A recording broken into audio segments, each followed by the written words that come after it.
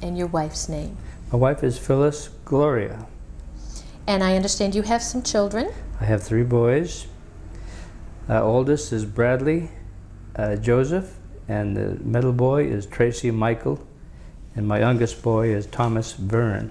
And you have grandchildren. And I have two grandchildren, a granddaughter Elizabeth and a grandson Ronald.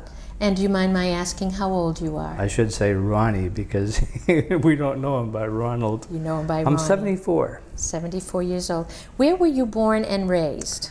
I was born in Northbridge, Massachusetts, uh, raised in generally in the Worcester area and in uh, Bangor, Maine. And you had siblings, brothers or sisters? I have uh, yes, I have two brothers and a sister who has who has died.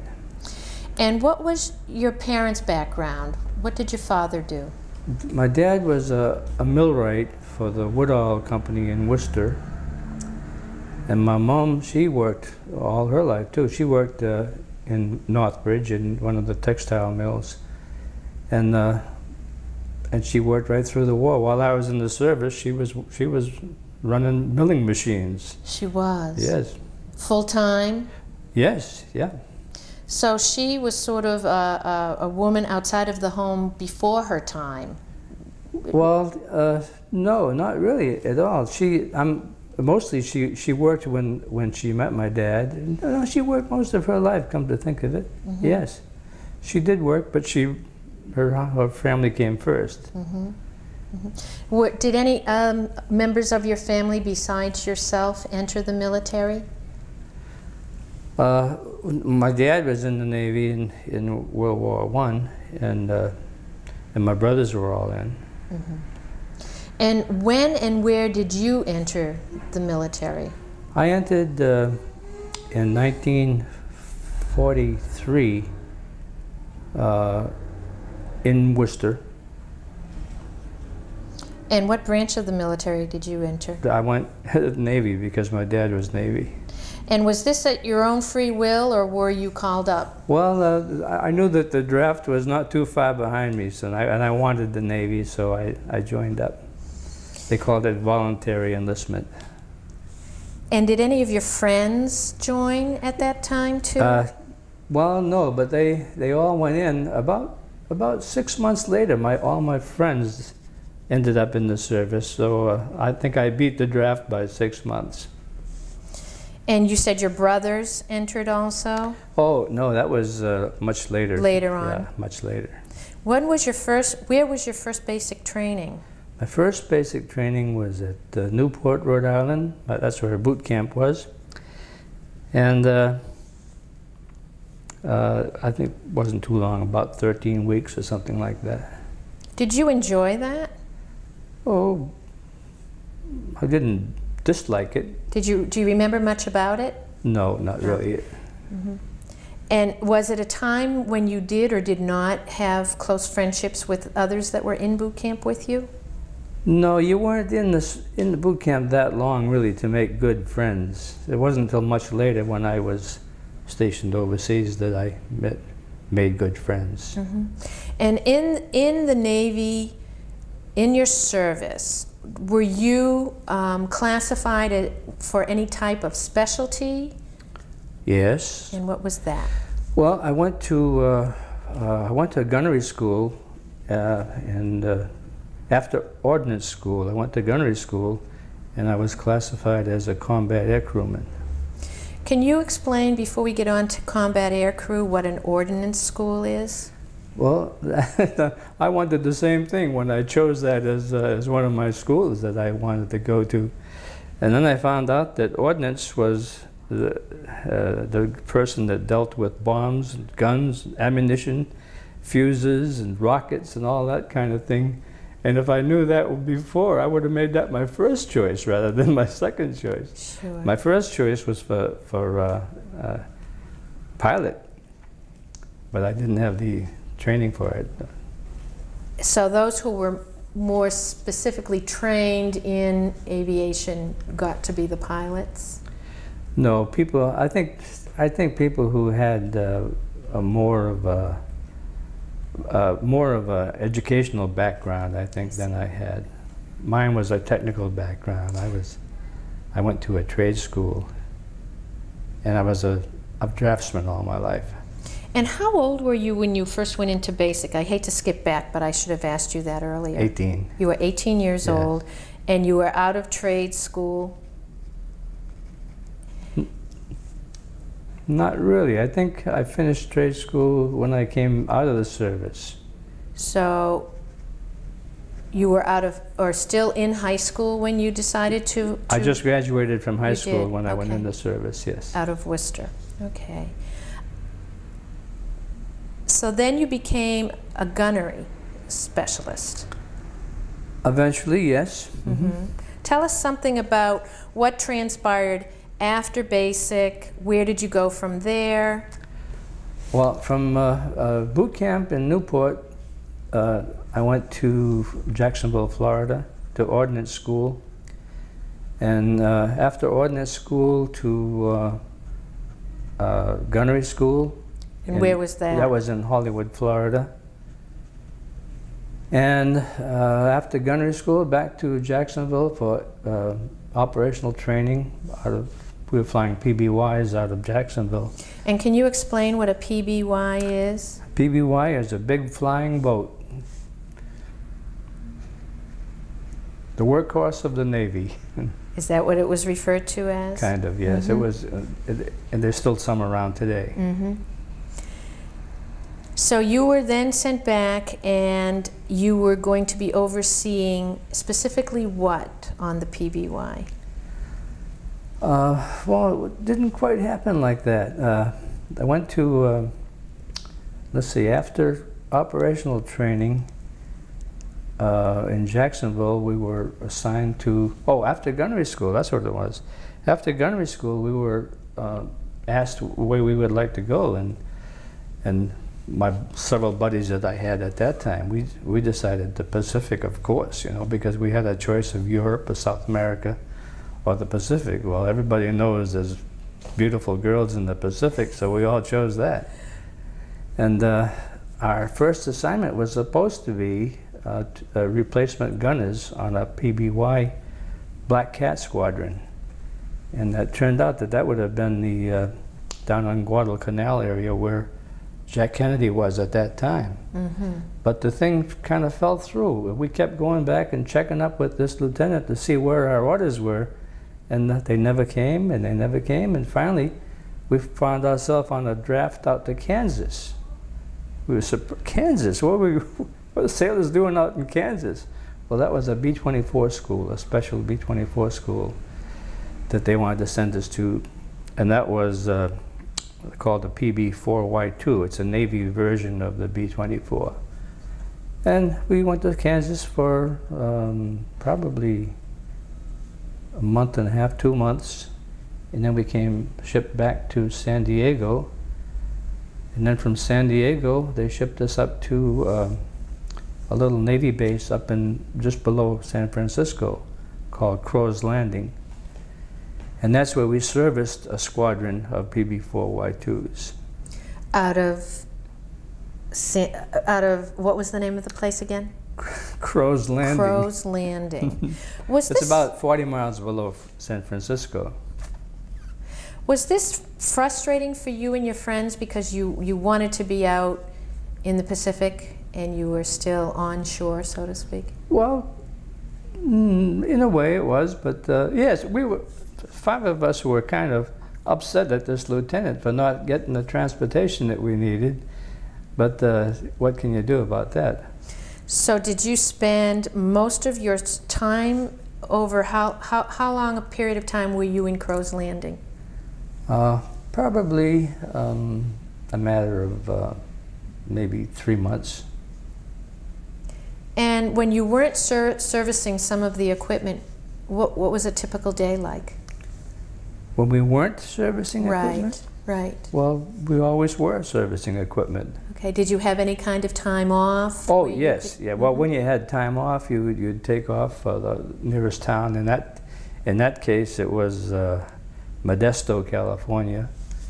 and we'd go fishing. But I remember one day catfishing and uh, coming back with a whole string of catfish to this little town of uh, Newman, California, and we gave them to a farmer who uh, they called him. He called himself a rancher because he had a ranch, everything in California.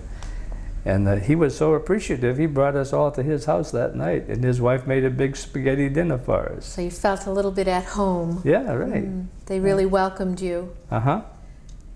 During this time period, were you hearing about any other actions that were occurring Oh, in the Pacific or elsewhere? Of course, yes. We we were currently, we knew what was going on all over the all over the world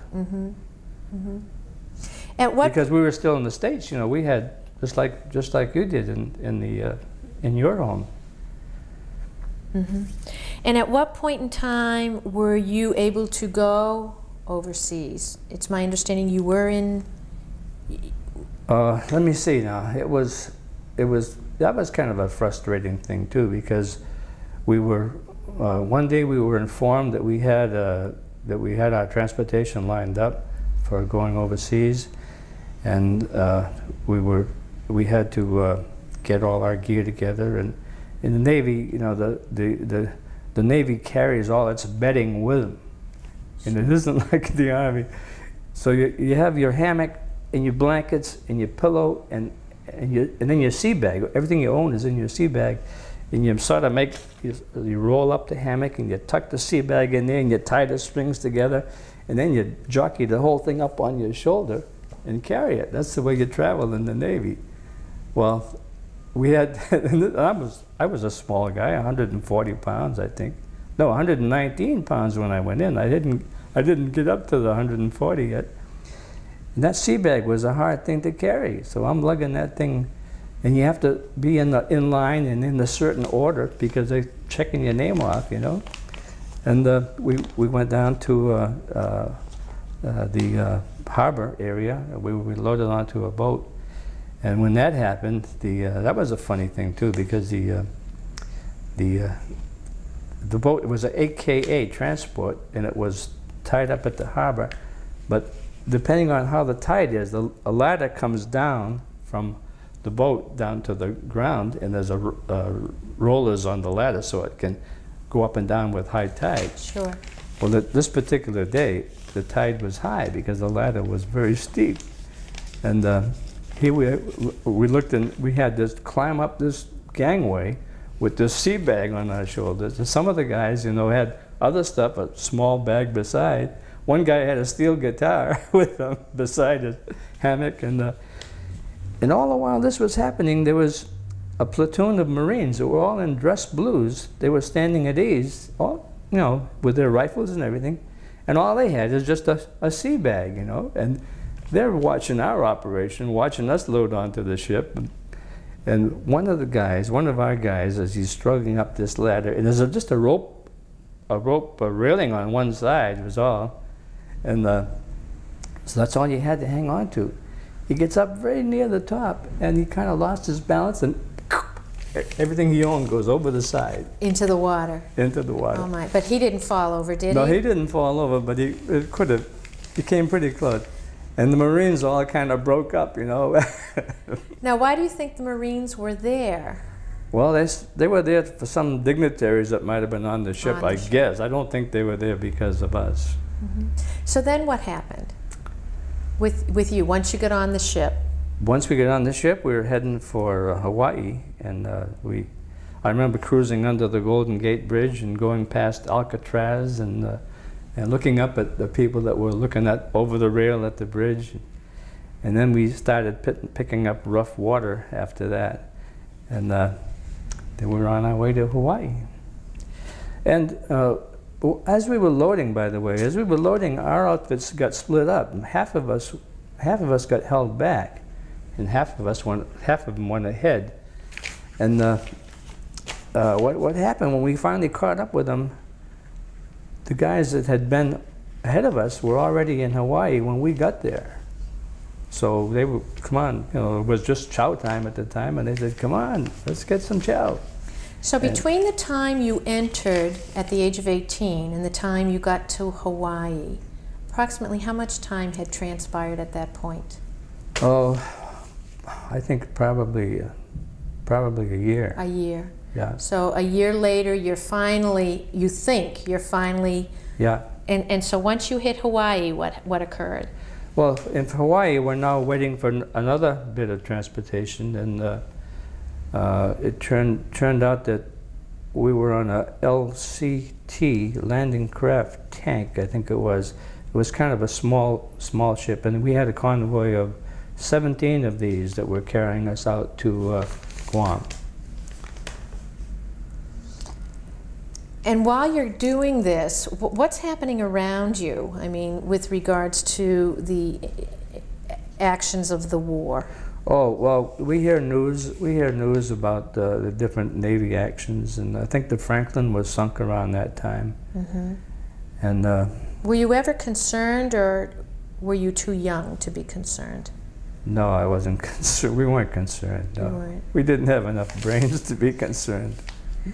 So that you're on your way now, and, and, and walk us through what happened. I mean, where where you thought you were going, or where you ended up. Well, we, we knew that our destination was Tinian because uh, I had worked out a code with my folks that when uh, when I found out where I'd, I'd be, that I'd send them a letter and I would talk about some people that uh, they didn't know, and I'd use the first letters of these names to spell out where I was going. And tell us where Tinian is. Tinian is in the Marianas Islands. Uh, it starts off at uh, uh, Guam, and there's a whole series of islands that run up to Tinian and Saipan. And these are, uh, uh, oh, probably, you know, off of a, a, a good distance away from Japan. 11 hour flight to Japan from there. And how long did it take you to get to Tinian? Oh, that was a very, very long trip. It was, I called it a slow boat to China because it was uh, this convoy of 13 LCTs. I think we probably, uh, I, I think I, I think I mentioned it in my, in my report that I wrote uh, upon, you know, thinking about it more. I think it was a couple of weeks. No, it couldn't have been that long. It But it was a long, long. trip, long trip, yeah. And and during that time period, were, were you given duties on a daily No. basis? No, So how did we you? We were passengers. you were passengers going over to Tinian. How did you spend your day? Well, I remember reading uh, a lot. I, you know, the the LCT has got a little a flat bow door that drops down when they're when they're invading, and it drops it down, and there's room for I think two or three tanks to come out of this thing. And when the bow door was up, it was a nice shady spot because we're have, traveling due west, and all the day, all the day long, the sun would be coming down there. I found this spot a good, great place to, to sit and read my, my book. What type? One of the books I read was uh, Donovan's Brain, a paperback. I'll never forget that book. what was it about? It was about it was about a man whose brain was uh, was kept alive in a tank. it's kind of scary. So you found a comfortable location in a situation that wasn't very comfortable for all of you. Was there a lot of illness, seasickness, or No, well, well hmm, s- no illness, but seasickness, yes. One boy was seasick the full the full time, all every day and every every day of the week.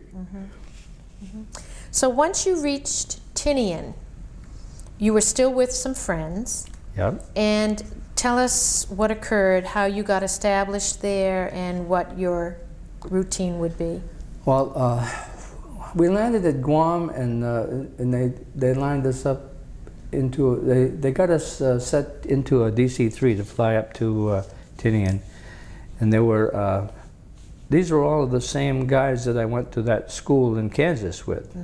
So we were B twenty four, PB four Y two specialists at that time, and. Uh, uh,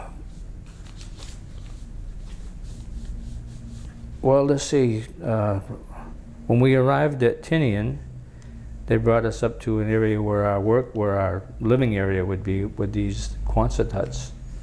And uh, you just picked out a bunk of your own and, and you were in business. So- Found out where the mess hall was and where everything else was, and that was it. What was the weather like? Ideal. Tinian had the ideal weather, the garden spot of the Pacific. We saw a sign as we came into our camp area, and it really was. Beautiful. Yeah. Mm-hmm. And so you and your friends probably tried to bunk together in Well, your no, we were assigned to a to a hut. That You was were. that was our hut, so that we were all together mm-hmm. anyway. And so you're, you had to take care of the B-24s and the BP-4Y2s, you call them, right? PB PB. I'm sorry PB four Y twos. PB4Y2s. So the pilots, give us, give us um, an idea of what a typical day would be like for you, for the pilots, for the crew. Well, okay. Each each airplane has a, a plane captain. He's usually a mechanic, and he's in charge of of uh, keeping that plane in good flying condition, ready to go at a moment's notice. And uh, uh, in our group, we had we had people who were ordnance, like myself. We had to take care of all of the machine guns, all the bombs, an- anything that they needed in that respect. The sheet metal workers had to do repair work on different things, and they had to like, uh, I think they changed tires and things like that. And the mechanics, of course, worked on the engines. And uh, Now, were you assigned to specific planes or all planes in general? all, all planes in general, uh, you're, you're, you're sort of in a like in a pool. You know, the plane captain puts an order in. He needs certain work done. It goes to a, a point. They s- send you out for an ordnance job, or they send a mechanic out for a mechanic's job. Mm-hmm. And then the plane would be considered ready, or were there ever times when you were called up on an emergency to get planes ready sooner rather than because of some Oh, yes. situation? Mm-hmm. Were you were you normally told what the situation was, or you really didn't know other than the fact that they had to go? They just had to go. Yeah. What was it like when they didn't come back? Uh, I don't know any of our planes that didn't come back, but we do know that uh, in, on our on our island there were B-29s also, and the B-20, as a matter of fact, the Enola Gay took off from Tinian, Really? and we could see them flying every day. And uh, yeah, there were a lot of crashes that we saw and witnessed. Did you, was the Enola Gay treated differently because of their reputation? What reputation? Well, no, it, no, no, you don't understand that. Uh, the old, the Enola Gay was just another airplane at that time. It wasn't until after, After. that you found out that that people started feeling their things about the Enola Gay. okay, all right. I, I, I write about that in my book too. And I, one of my comments is, President Truman, you did the right thing. It's now you know my feelings about it. About the bombing? Yeah. Mm -hmm. Because you felt that it had to end the war? Well, um, one day, some of my friends took one of the bomb trucks and toured the island, and we explored all around different places, and up through the hills. And it you know, these bomb trucks are pretty rugged; they'll go pretty much anywhere. So we explored caves and stuff like that. We found sake bottles and things like that. We came around a corner onto a big work area where a bunch of Seabees were building a big foundation, the biggest foundation I ever saw in my life. I said, "What the devil is that for?" And and the, one of the Seabees said, "Well," he said, "We're going to invade, aren't we?" And of course, I'm kind of naive, you know. I said, in, in, "Well, yeah." And I've seen the, some of the stories about the Marines taking these caves, cave by cave, island by island, all the way from Guadalcanal all the way up to Okinawa. I know how much death there is and how much loss of life there is. So, yeah, I guess we are going to invade, and I guess we do need a receiving hospital. So, that was kind of a shock to me. But I agree that it, it, it was a needed thing. Then later on, when we came back to uh, our own work area, after work, we had, we had a little beer garden that we used to go to, and our ration was two cans a day. So uh, after work, you'd, you'd be up at the beer garden having your two cans and shooting the breeze with your buddies. And, and we could look across three miles to the north and see Saipan. And uh, one day someone said, hey, did you see all those ships building up on Saipan? And I'm thinking, yeah, how about that? And there were all kinds of ships. There were big ones, little ones. They were, you know, big military ships, you know, I mean, fighting ships. And it seemed like one was tied up to the other, to the other, to the other. And every day you'd look and it would go further and further out to sea. And one day we were at the beer garden having a beer, looked out, the ships were all gone. What the devil is that all about? And someone said, well, the invasion must be on. And I'm thinking, oh, Mm. that's going to be terrible. Mm. And did you hear about it? And then we heard, You did. then we heard that the bomb had been dropped. And what was your initial reaction? I mean, I know you're Relief. saying that it was the right thing, but had you heard about it, what had happened in the cities? No, not at that time. Mm-hmm. Not until much, much later. Mm-hmm. Was there a discomfort level or a fear of what might transpire after that on the tiny island of Tinian? Or, or were you feeling fairly safe? We felt very safe. Uh, somebody, there was a rumor that there were 17 more bombs stored on the island. And uh, those little islands, they're like a mushroom. You know, they got a little narrow base, and the, the island part is the mushroom, the top of the mushroom. And if anything like that blew up, it would the whole thing would go into the, the deep Marianas Trench. You know, you figured. So uh, it was, it was scary in that respect, but not. It wasn't really scary. We because you know, that was a controlled type thing. We didn't uh, fear that. Was there ever rumor, or did you ever see any Japanese on the island? You had mentioned finding sake or things in the Uh, caves. Did you ever see? Yes, well, no, we, we, no, we never, we never, I never saw any Japanese, but one, one day, uh, uh, the master at arms was driving up the airstrip on, uh, toward the front of the airstrip, and he had a, they called it a follow me jeep. When a plane would land, a follow me jeep would come up, and he had a big sign on the back, follow me, telling the plane, follow him, and he'd bring him to the parking area. Well, the master at arms got a bullet hole through his windshield, and I don't think that was uh, one of our guys. So they knew maybe there might be a few hiding out. Yeah. When something like that happened, did a group go off and try to find the individuals? Well, one day, yes, we we were assigned to that duty. You know, we were issued a carbine, and uh, and we're tramping through the jungle. We're, first, we stretched out arm to arm. We could touch each other's fingertips, and that's how we a big line. And then we started going through the jungle, and uh, to try to f- see if there was anybody we could flush out there. And uh, and I'm trudging along and trudging along, and and pretty soon I couldn't even I couldn't hear this guy. I couldn't hear the guy over there. I felt like I was all by myself, you know. And I ran into a hornet's nest, and I dropped my gun and ran. then I had to go back and get, Get the, the gun.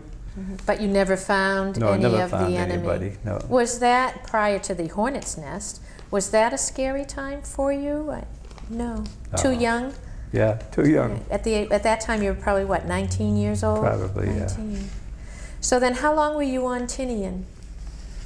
Uh, let me see. Uh, mm, about a year, I guess. A whole year.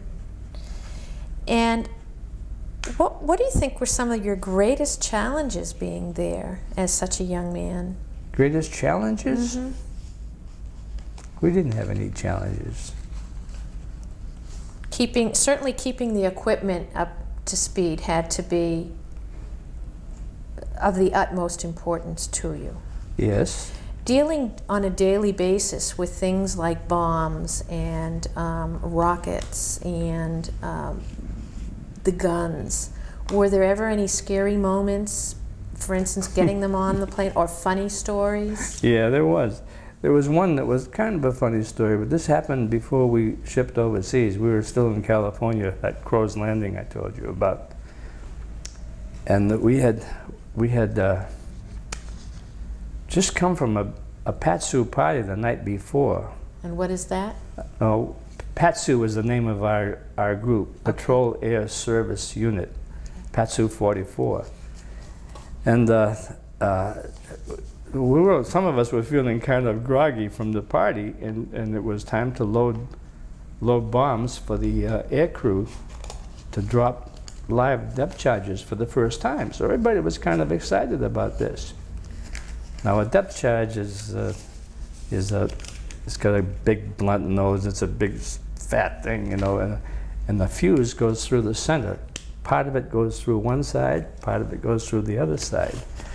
And where the two fuses come together, it's like a cup in a, in a, in a, in a socket. And it's springs behind here and sea pressure that forces these together at a certain depth. That's when they blow up. Now what keeps these from going together is, what keeps the seawater from coming in to go, is an arming wire that attaches to the, to the plane, and that goes through a little place, and now that nothing can happen. So one day we were loading uh, um, bombs for the air crew to go out for, to practice and drop these depth charges. So we're sitting out there. It's a nice warm day, and I'm stripped to the waist, and I got, I got my legs like this. I've got a bomb right between my legs, and I'm fusing the bomb. I mean, I'm attaching the arming wires to the bomb. We had already fused them earlier that morning, and uh, our warrant officer came by in charge of the ordnance gang, and he, he was making sure that everything was safe. And he said, "Are you sure? Is the quadrant in the safe position?" Well, the quadrant is the release lever. You, you, you, and you learn this in school. To test it, you press the button, you pull it, click, click, click, click. So you're sending it through all the positions, and then you bring it down and all the way back to salvo. So you're dropping everything that you've got and then you bring it back and leave it in a safe position. That's the way we were told how to test it, you know, how to, how to leave it in a safe position. So here we are, we're just loading these bombs. We've got some of them loaded already, we've got some of them up into the rack, and they're all armed, and the arming wires are hooked onto the racks. And the guy says, uh, the warrant officer says, are you, you sure the arming, the, uh, the uh, quadrant is in the safe position? Now there was an aircrew guy that was standing right near the nose wheel, and he says, I'll check it, sir. And Zippo, he goes up into the bombardier's compartment. Now he was the aircrew that was going to fly in that plane. So he did just what they told him. Click, click, click, click, and then salvo. And of course the bomb we already had loaded dropped and it fell right here, right beside me. And it, I looked over and it's rocking back and forth gently and the arming wires are dangling all over the place. well, that was kind of scary. So you knew immediately what had happened. Yes, but you know, it would take water pressure to set it off, but so But- there but really was- wasn't any danger. But did you know that immediately, or was there an instant fear? No, or- I know, I Oh, knew that Thank immediately. goodness. Yeah. Thank I knew it immediately, but I was scared. Yeah.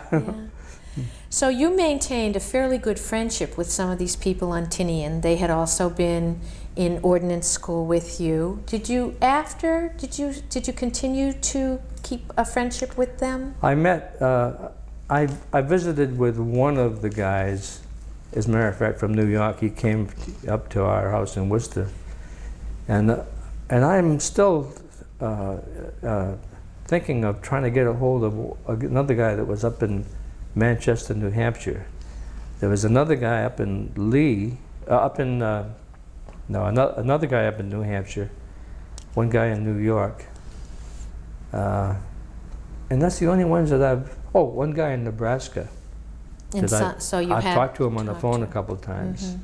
So after Tinian, tell us what went on. You were there for a year, and then did you ship home? Yeah. Mm -hmm. Tell us about that. Well, uh, in the in the service, you have a, a, a point system to determine who goes home first. And uh, on Tinian, we had uh, army guys that were working on the docks.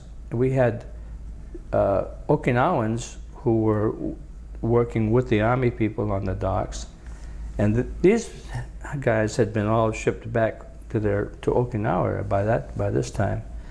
The army guys had all gone home on points, and what few of us were left were trying to build up points to go home, and we had uh, this merchant ship, this uh, the one I showed you the picture of. I The John Miller? the John Miller. I couldn't think of its name. Yeah, the John Miller was assigned to carry some ambulances back, and uh, who was going to load the ambulances? Well, there was five of us that were looking for transportation home, and we were selected, and uh, and we so we did it. So were you again passengers on the merchant ship? So now we were just passengers. Yeah. Mhm. And how long did it take you to get home?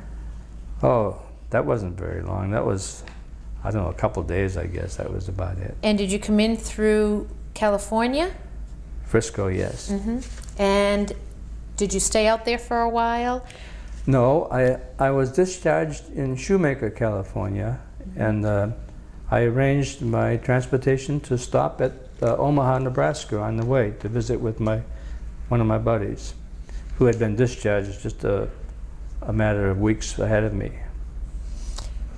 And so now you're discharged, you're probably what, close to 20 years old at this point in time? Uh, I think I'm 21 by now.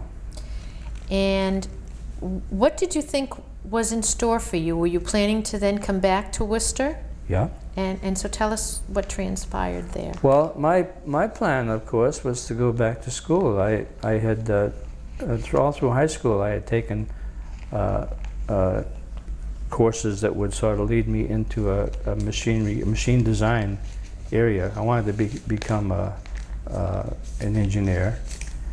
And um, uh, so that's, what- that's what I did. I went back to uh, trade school.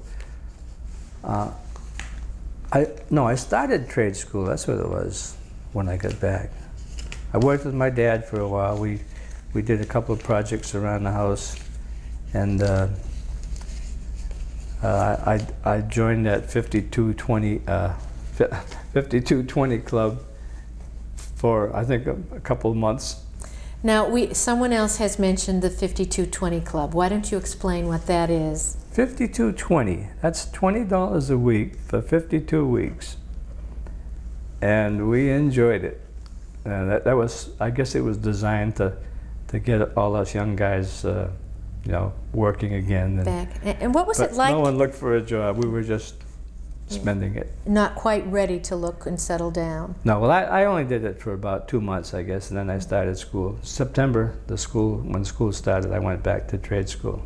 What was it like coming home?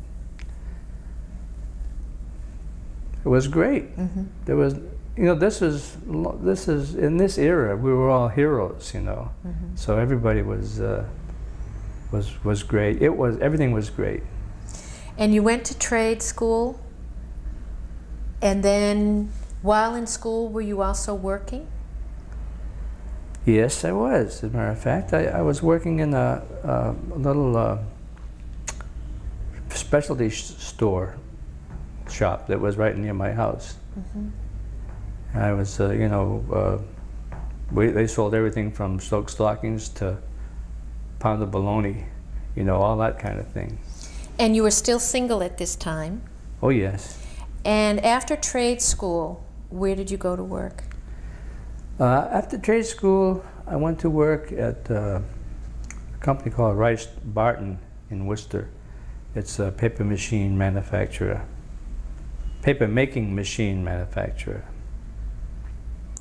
And did you work there for a great length of time? I worked there for I think three years. hmm And when did you meet your wife? Oh, that was uh, one of my leaves coming home. Wh- When I came home from Kansas, that's when I met my wife. Is she from around this area? She was from around the uh, College Hill area College Hill in Worcester. in Worcester, yes. Okay. And when did you get married? Uh, hmm. A few years, uh, you know, we went together for a few years before we got married. hmm How important do you feel serving in the military was? Well, at the time, it was a must. Mm-hmm. And how do you think it affected the rest of your life? no problem there. It, it, it, it's something that you that you needed to do, that needed to be done, and I think uh, it, in those days, you know, there was no objecting to to the to the draft. Everybody went in because they, they knew they had to go in. It was, and you wanted to go in. So when you get out, everybody was glad you were out. And you had mentioned earlier when you came home, you were all treated as heroes. One of the questions that we've asked a number of our uh, other veterans, which I'd like to ask you now, is how you feel about the difference of public opinion towards the veterans of World War II, your generation, during the and also during the Korean conflict and then the Vietnam War. What do you think the difference was? I think there probably is a difference. I don't know why, and I don't think there should be. And I feel that the Korean and the and the uh, uh, Vietnam veterans probably deserve more respect than the World War II guys do. And why do you say that? Because they had a much tougher life, a much mm-hmm. tougher war to fight. I, I had myself, I didn't see any combat. I, I, I was extremely fortunate I think I had I enjoyed that whole trip. Uh, I liked it. Mm-hmm. I'd do it again. Uh, I sometime uh, a few years ago I saw an ad for Squantum Squantum Mass looking for some ex Air Force people or ex flying people, and I looked at that and I said, "Oh, I'd love to be doing that." Mm-hmm. And I thought too that what I should have done when I got out was to join the Coast Guard, and especially in the in the air air end of it, because I enjoyed that life. That was fun, fun, fun. So looking back now, you wish you had continued in, as you said, the Coast Guard or something similar to uh, that. Yeah, uh, from a retirement basis, I do. But uh, you know, at the time, I had a life to get on with, and I had some education to get, and I became a machine designer, and uh, I wouldn't pass that up for anything. And you you are in retirement now. Yes. And you became a machine designer. You said, and, and what was where was the bulk of your work done? What what type of business were you in, or what company were you with? I worked for and was a part owner of an engineering company uh, located right here, started right here in Natick, named Dynamac, and. Um, we we we ended up with probably as many as many as uh, at one time maybe 90 people that were all designers, draftsmen, working on a drawing board. But our work really was for clients all over New England. So we a lot of times we were sent to a to a client's plant to work in his plant, and sometimes the work was done in the home office. But we was I'd like to describe us as a design and build machinery uh, that, that no one has ever built before. And how long were you with that group? Uh, I was with them for, I'm, I do not know, I can't remember the dates or anything, but uh, all my life. mm -hmm. Is it still in existence today? No, no. Mm -hmm. They were sold out to a California outfit. Mm -hmm. Is there any thought or memory or comment that you would like to share right now with not only your family but with the community or groups that may view this tape in the future? Well, um, for myself, uh, I, I don't really have any thoughts about my, my own time in the service, but I do wish that people would feel better about the Vietnam veterans and the Korean veterans mm -hmm. because those those are the guys that really I work with one of them by the way he refers to the killing fields only he does it jokingly but I know that he doesn't, he's not joking, he means it. That it bothered him, what yes. he had experienced. Yes. Do you feel there might be now a change of opinion, by the communities regarding the veterans of those wars? I certainly hope so. hmm Well, we'd like to thank you this morning for coming in and telling us one more portion of experiences during the World War II generation. Thank you so much. You're welcome. Thank you.